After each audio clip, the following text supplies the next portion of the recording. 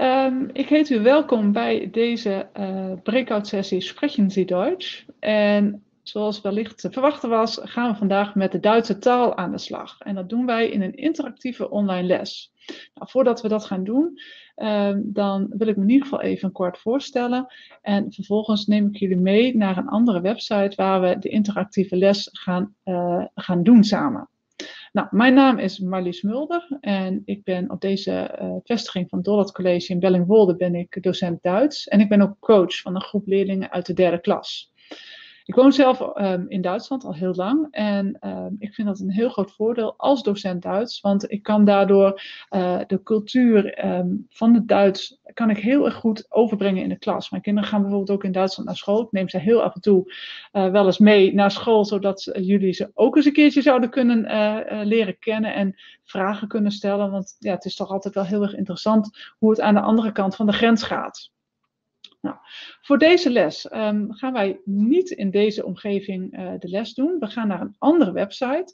En mijn collega's op de achtergrond die bij, vlakbij mij zitten, tenminste vlakbij mij op de nodige afstand natuurlijk, uh, die geven zo de website aan waar jullie naartoe moeten. En die is ook terug te lezen in de chat.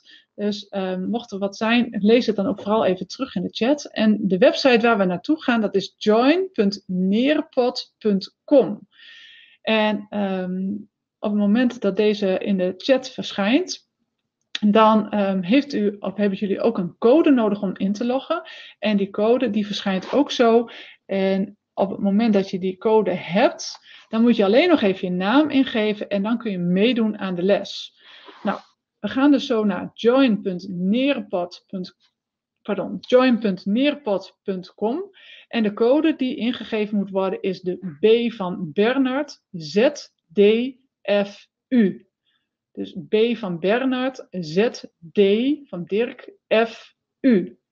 En op het moment dat jullie daar zijn, dat kan ik ook gelukkig in beeld zien, daar gaan we verder dus naar de les Duits. En dan mogen jullie ook gewoon heel actief aan meedoen. Dus ik hoop dat de sessie nou ook helemaal um, aanwezig is. Dus join.neerpot.com en daar de code ingeven en op het moment dat je de code ingegeven hebt, eventjes je naam ingeven en dan zijn we klaar voor de les. En de code die ik aangegeven had was de B van Bernard, Z, de D van Dirk, F, U. Join.neerpad.com en de code BZ DFU. En het ging al twee rondes goed, dus ik ga ervan uit dat dat nu ook goed is. Ja, ik zie de eerste al verschijnen. Dus ik ben heel benieuwd. Ik wacht even totdat iedereen, uh, of iedereen, dat de meeste ingelogd zijn. Ik kan zelf niet zien hoeveel er ingelogd zijn, maar ik krijg zo van mijn collega's even een seintje. En dan gaan we ook heel snel van start.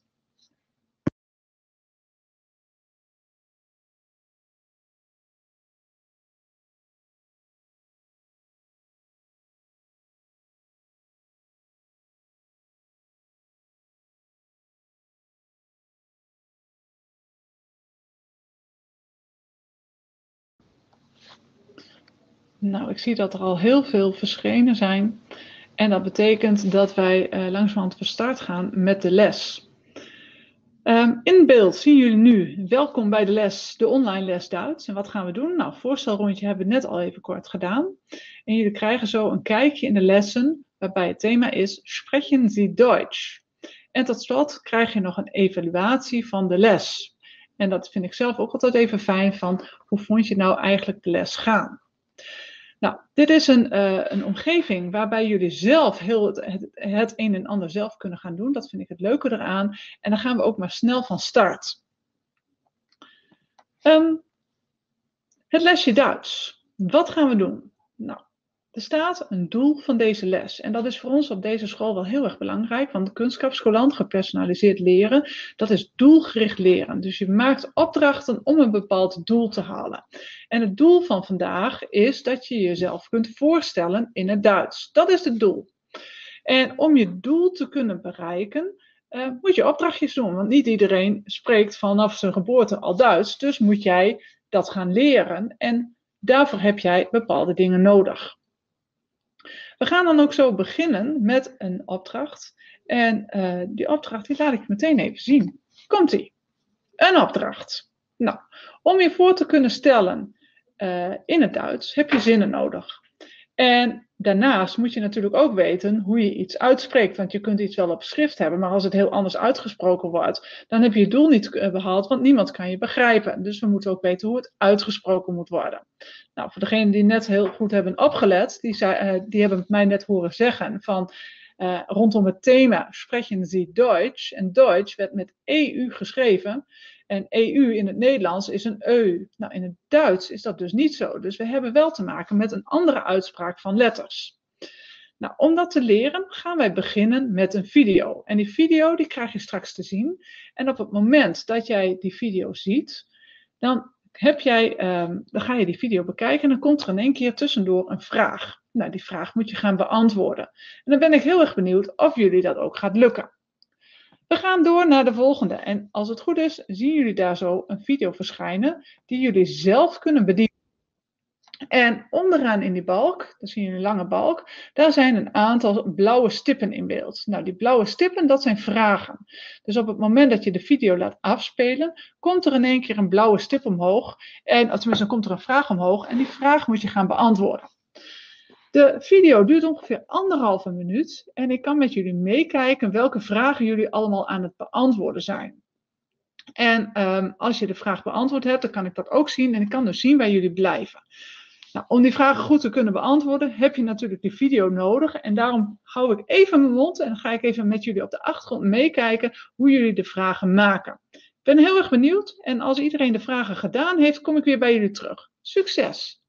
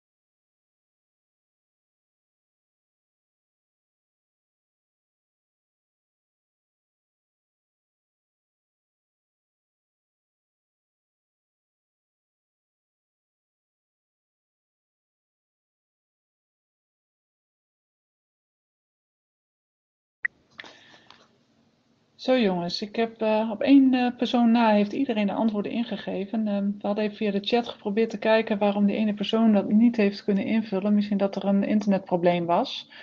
Maar desondanks zie ik dat iedereen eigenlijk super bezig is geweest met de vragen. Sterker nog, ik heb helemaal niemand een fout zien maken. En dat vind ik wel heel erg bijzonder voor een filmpje helemaal in het Duits, dat er nog helemaal niemand fouten maakt. Ik ben eigenlijk ook benieuwd hoe moeilijk, hoe moeilijk jullie dit hebben gevonden. Want ja, het moet natuurlijk niet super moeilijk zijn, maar het moet ook niet te makkelijk zijn. We gaan eens even door naar de volgende. Nou, ik denk dat als ik zie dat er helemaal geen fouten zijn gemaakt, dat deze opdracht niet heel erg moeilijk was.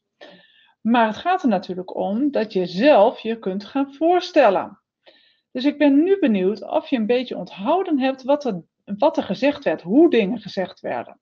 En in de volgende opdracht heb je een soort van memory opdracht. Je hebt twee kaartjes die je bij elkaar moet zoeken. Bij de ene heb je een Nederlands zinnetje, bij de andere heb je het Duitse zinnetje. En welke zinnetjes, Nederlands en Duits, horen nou bij elkaar? Daar moet je op klikken. Ik ben benieuwd of het jullie lukt. Dus ik ga door naar de volgende opdracht. Komt-ie.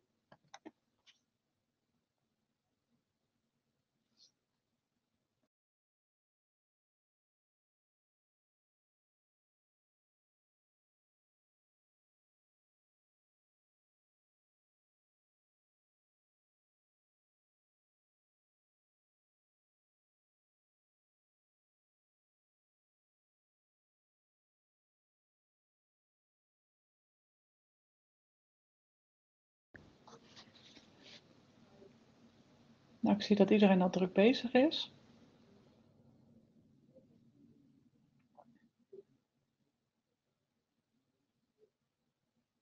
Goed hoor.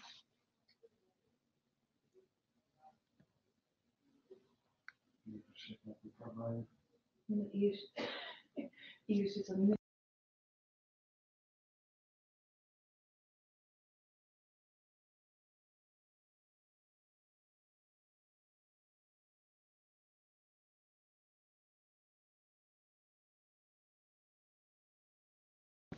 Ik kijk op de achtergrond even met jullie mee hoor, waar jullie bezig zijn. Dus ik wacht gewoon even om te kijken of jullie die uh, paadjes kunnen vinden. Dus aan de ene kant heb je een Nederlands zinnetje, aan de andere kant heb je een Duits zinnetje. Welke horen nu bij elkaar? En kun je dat vinden?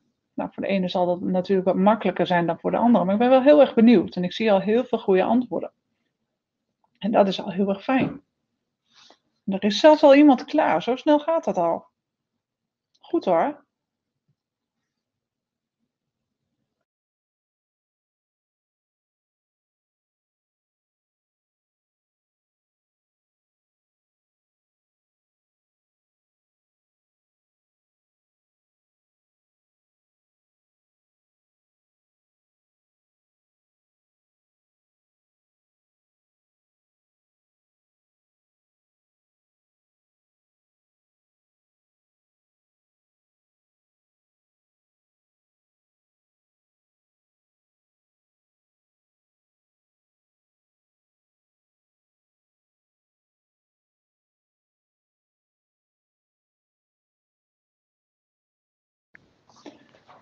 Nou, ik zie dat er al heel veel, heel veel ingevuld hebben. Ik vind dat echt geweldig. Ik wacht nog eventjes een minuutje om te kijken of de anderen er ook nog bij komen.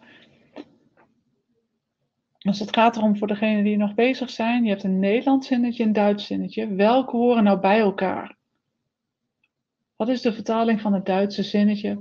en welk zinnetje is dat dan? Kun je die bij elkaar vinden?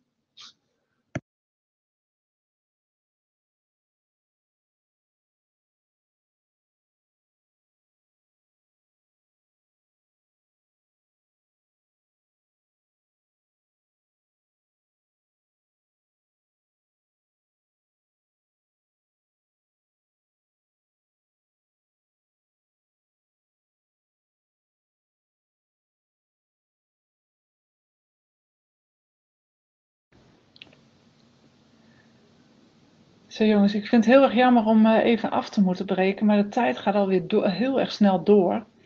En ik wil nog wel heel erg graag de volgende opdracht nog even met jullie doen.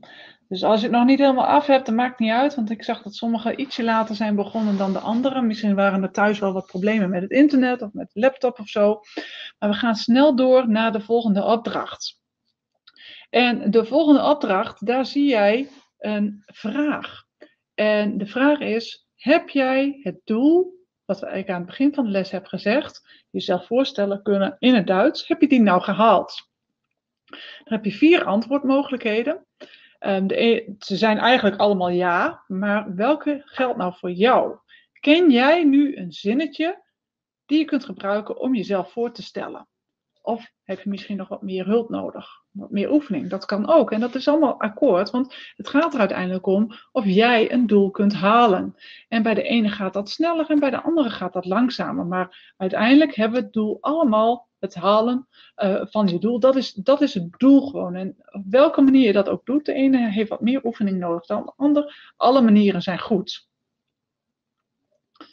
Nou, ik zie al heel wat antwoorden verschijnen. Daar ben ik altijd heel erg blij om. En ik zie eigenlijk dat de meesten het zelfs nu al in één keer goed kunnen. Nou, dat is in ieder geval heel fijn. En er zijn zelfs een paar die zeggen van ja, ik ken zelfs meerdere antwoorden. Dus ik kan, ik, ken zelfs al, ik kan zelfs al meerdere zinnetjes in het Duits zeggen. Nou, dat vind ik wel helemaal geweldig, want dat betekent dat je het doel heel erg goed gehaald hebt. Nou, een andere zegt van ja, ik moet nog een klein beetje oefenen, maar het heeft me allemaal wel geholpen. En dat is gewoon ook hartstikke fijn. Nou, volgens mij hebben alle nu een antwoord gegeven. En daar ben ik heel blij mee.